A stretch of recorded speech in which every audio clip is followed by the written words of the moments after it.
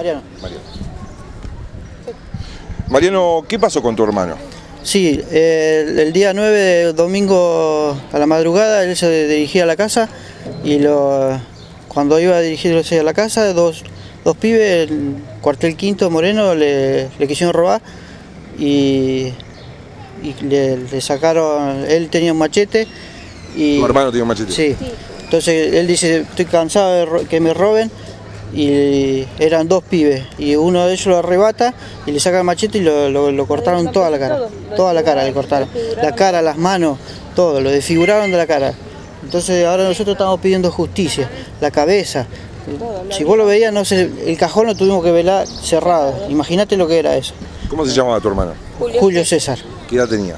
41, 41, pues, dos, 42 años.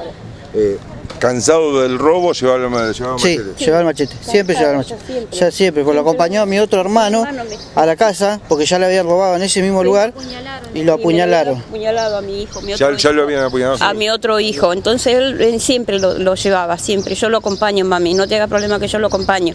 Eh, se juntan siempre, los sábados se juntaban todos en la casa de mi hijo para estar tranquilo, que nadie moleste ni nada. Y siempre, siempre él lo llevaba, mami, yo te lo llevo hasta la puerta de casa con la bicicleta y yo me vuelvo Cuando tranquilo. volvió a la casa, Y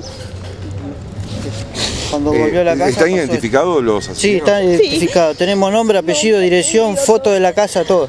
Y no, no hacen nada. Estamos esperando la orden de, de acá para que vayan y lo agarren, para que, que tenga captura por lo menos. ¿Siguen estando en el barrio? Está- siguen en el barrio. Y vivimos a dos, tres cuadras de la casa. Y nosotros confiamos en la justicia, entonces no queremos ir a hacer No quiere- no, eh, no por mano propia. Entonces queremos que vaya la justicia, ¿entiendes? Pero no, todavía no, no se movieron, no se movió nadie. Y nadie y, y el juez dice no que está- no todavía el- no tiene eh, los elementos suficientes para ir a agarrarlo.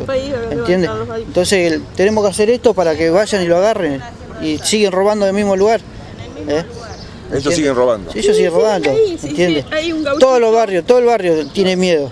Y ninguno vino, los amigos, los conocidos, ninguno se presentó hoy. ¿Por qué? Porque tienen miedo. Tienen miedo. ¿entiendes? Ninguno da la cara, porque los cruzan, ellos. Todos los cruzan por el barrio y todos le tienen miedo. Esto fue en Ruta 24 y qué calle. Y Galarza, Galarza. Ruta 24 y Galarza. ¿Eso qué Cuartel barrio es?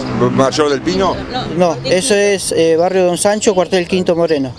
Sí, ahí es. ¿Y la fiscal, el fiscal todavía no nos atendió? No, ahora sí, recién subió mi hermano y subió y por otro caso con los mismos eh, asesinos de mi hermano que ellos mataron a al, al hijo de, la gente, de la gente esta que subió también a, a ver el problema este.